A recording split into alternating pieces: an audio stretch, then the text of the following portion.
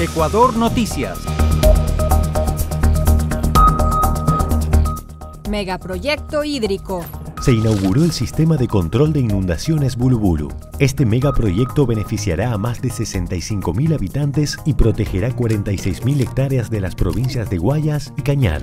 Está compuesto por un muro de hormigón de 2.800 metros de longitud, con una altura que varía entre los 7 y los 13 metros, ubicado al margen izquierdo del río Bulubulu.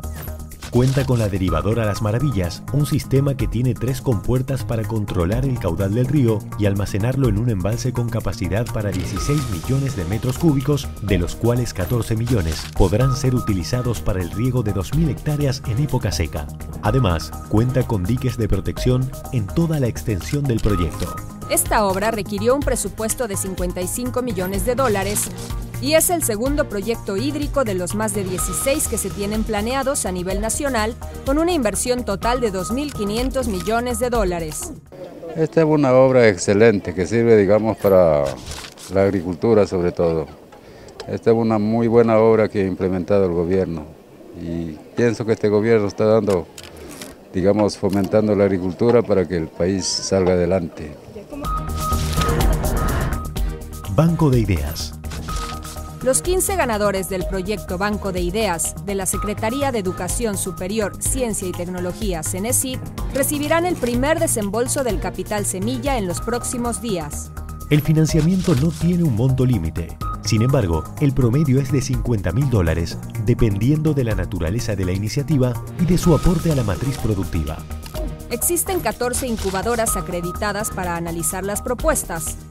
Los emprendedores deberán elegir tres de ellas con las que deseen desarrollar su proyecto y notificar a la CENESID. Luego, trabajarán en un plan de incubación, tiempos y presupuesto. Más desarrollo. La provincia de Sucumbíos se beneficia con 192 proyectos de inversión social ejecutados por Ecuador Estratégico. El monto total de las inversiones supera los 118 millones de dólares, de los cuales el 79% está concentrado en los cantos del Lago Agrio, Xuxufindi y Cuyabeno. El sector con mayor inversión es saneamiento ambiental, con más de 38 millones para proyectos de alcantarillado pluvial y sanitario, unidades básicas de saneamiento y sistemas de agua potable. Le sigue la inversión en educación, con un monto aproximado de 24 millones destinados a la construcción de escuelas del milenio, sedes distritales e intervenciones educativas. Los recursos que provienen de la extracción de los hidrocarburos son reinvertidos en beneficio de las comunidades aledañas a los proyectos estratégicos.